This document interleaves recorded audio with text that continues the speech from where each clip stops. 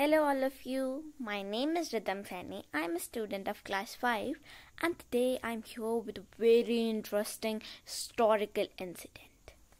So, a very important, unforgettable historical incident took place in 1917.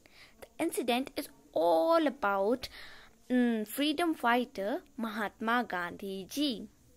This is when he started his push movement against British government. So, the Abhiyan is known as Champaran Peasant Movement.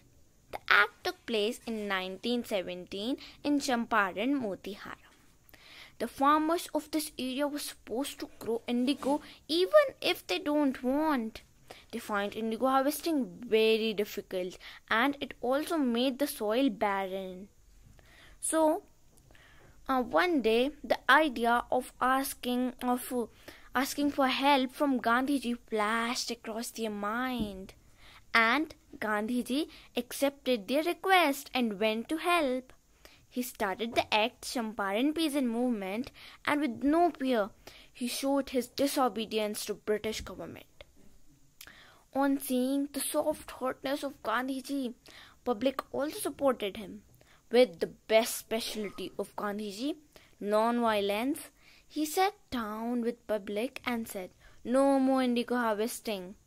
It's our land and it's totally our choice to do whatever we want. And we don't want to harvest indigo. We are, ha- we are here and we are not doing any indigo harvesting at all. On the arrival of British government, they terrified on seeing such a heavy, uncontrollable crowd.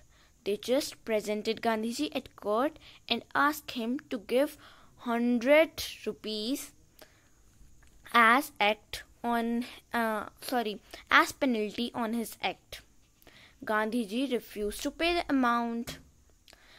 And thousands of people protested outside the court demanding his relieving. And with their fear they released Gandhiji and the case was withdrawn by british government and now the farmers of this area are totally free to grow whatever they want and uh, Gandhiji also taught the people of that area the importance of cleanliness and he opened a lot of schools for children so that they can study and this is when he got his name Bapu. Have you heard this name? Yes, you must have heard. So bye bye. Thank you.